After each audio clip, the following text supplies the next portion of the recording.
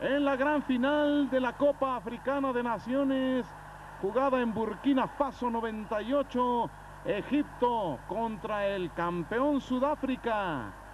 Ahmed Hassan al minuto 4 con este disparo logra el 1 por 0 y el cuadro de Egipto se va al ataque y al minuto 13 Tarek Mostafa hace el segundo gol de los faraones y estaban quitándole la corona a los sudafricanos.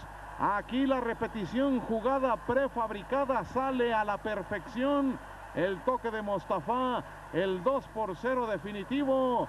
Y Egipto se levanta con esta Copa Africana de Naciones en su edición número 21, derrotando en la final a Sudáfrica, que era el campeón anterior, dos goles por cero.